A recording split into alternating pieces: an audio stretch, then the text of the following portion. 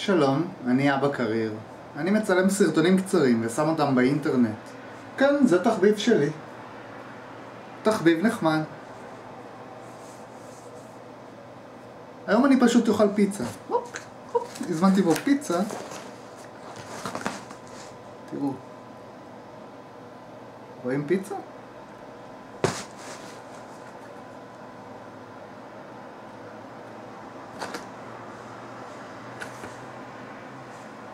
איזה משולש אני אבחר? זה נראה מגעיל, אז לא ניקח אותו. מה זה? איכס. נו, זה נוזלי מדי, פה יש עיגול שחור כזה. כדאי לי לשים את התבלין הזה? נשים קצת, על חצי משולש.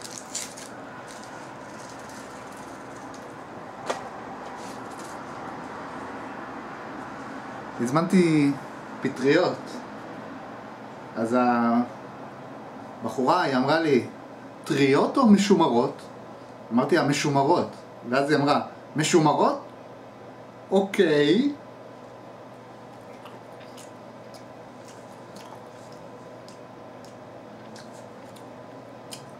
למה גבינה תמיד נהיית uh, פסים? אני לא אוהב פסים.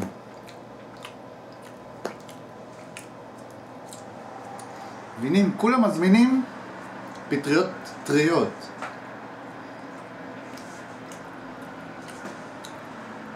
ברגע שאתה מזמין משהו שהיא לא ציפתה לו, זה היכה אותה בהלם.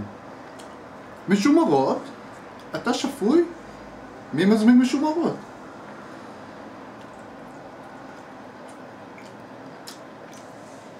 האמת, אני בכלל לא רעב. רציתי משולש, משולש פיצה.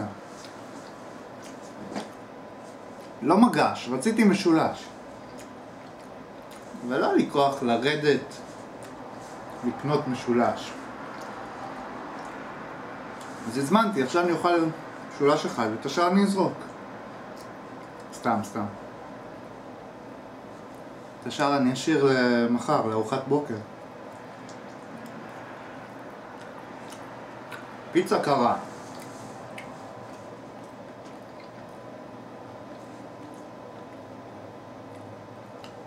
פטריות האלה לא עשויות מספיק. מתי שאתה מכין, מתי שאתה משמר פטריות, אתה מבשל אותם? אותו שאלה לגבי טונה. אם אתה לוקח טונה מקופסת שימורים, היא מבושלת?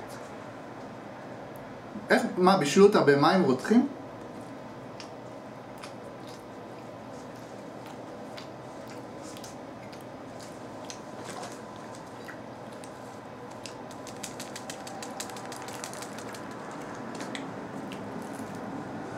עוד שאלה. יש לזה תאריך? וגם לרוטב שום הזה.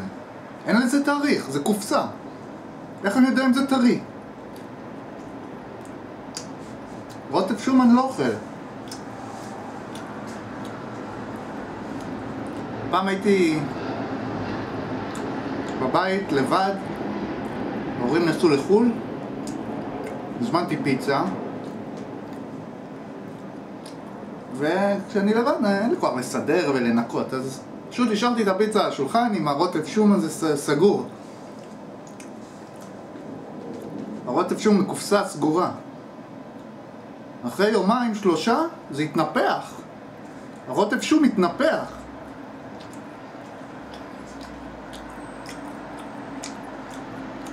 ואז פתחתי את זה לפני שזה התפוצץ.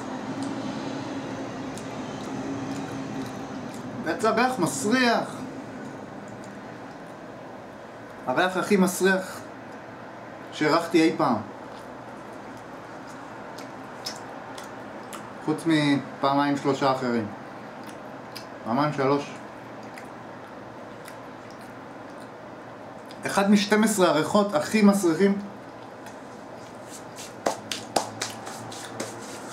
איפה יש מפית?